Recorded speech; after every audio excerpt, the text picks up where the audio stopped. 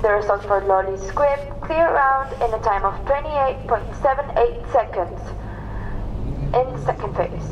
Resultado de Lauley Squibb, Lara eh, clear round in a time of 28, 27 segundos con 78 centésimas. En la segunda